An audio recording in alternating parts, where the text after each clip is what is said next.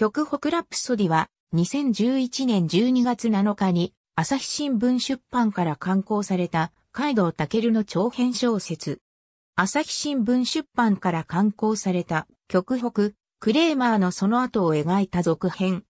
著者は今作をもって曲北編と称した極北市で展開される物語は終幕だと明言している。2011年2月から11月にかけて、週刊朝日で連載され、同年12月に単行本化。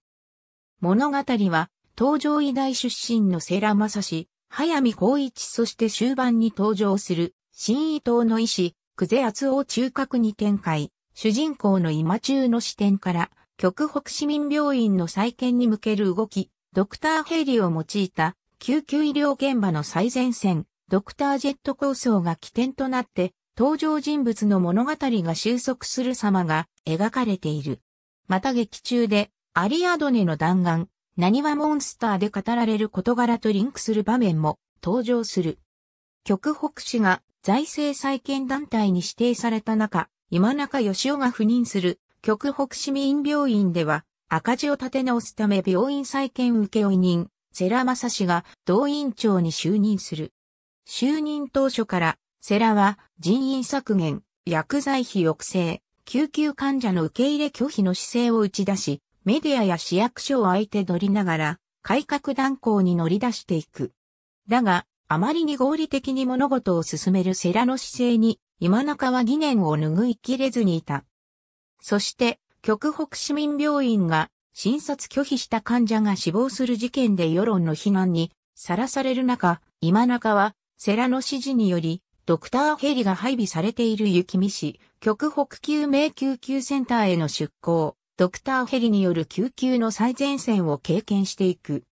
今中が極北市民病院に戻ってしばらく経った頃、雪見市のスキー会場で表層なだれが発生。やがてそれはドクターヘリの存続が危ぶまれる事態に発展していく。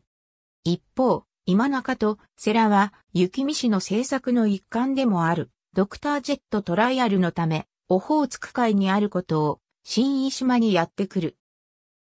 自らの原点となったその島で、セラはこれまで自分が歩んだ道のりを見つめ直していく。2013年3月19日20日に NHK 総合でエータ主演のテレビドラマとして全2回にわたり放送された。放送時間は22時23時13分。エータの NHK ドラマの出演は2008年の厚姫以来となり、NHK ドラマ主演は本作が初となる。また制作統括の佐野元彦は、厚姫でも制作統括を担当しており、理想と現実の間に揺れながら前へ進んでいく。主人公はエータさん以外に考えられなかったと起用理由を語っている。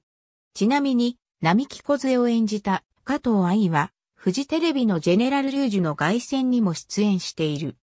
撮影は2012年9月16日にクランクイン、松坂慶子の東京でのシーン以外は、札幌、小樽、くっちゃん、手稲、ニセコなどの北海道各所でロケが刊行され、2013年1月中旬にクランクアップを迎えた。ありがとうございます。